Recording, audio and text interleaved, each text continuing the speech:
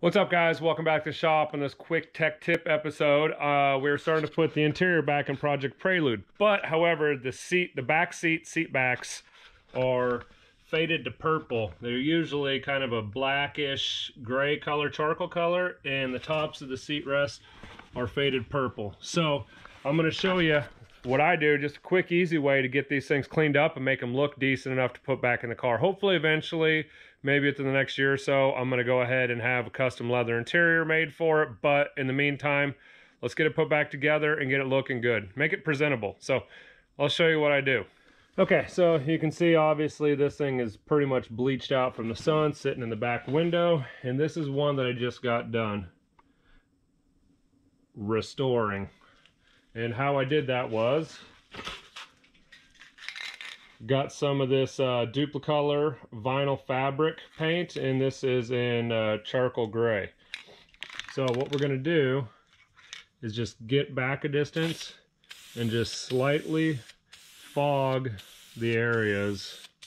We're not wanting to build it up any, we're just trying to add just a little bit of color to it and we're going to kind of just float it down the seat cushion.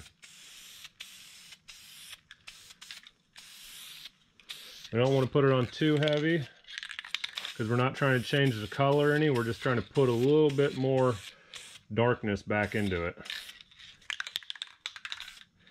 We'll let that set up a little bit and uh, we'll hit it with another coat.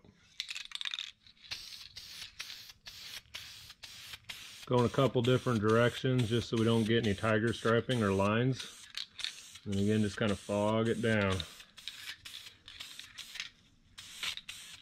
All right, guys, so I let that dry out for about 15 minutes or so.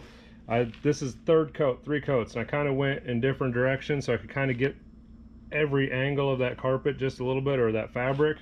And then just go ahead and just kind of rub it out and even out the, the fibers and kind of just soften them up a little bit so they're not so crunchy and crispy. And we're gonna call that a success. It's not a perfect match you can see a little bit of charcoal in there, but it's really a hell of a lot better than the purple we had before. So hope that'll help you guys fix some of these cars up because all these parts are getting really hard to find.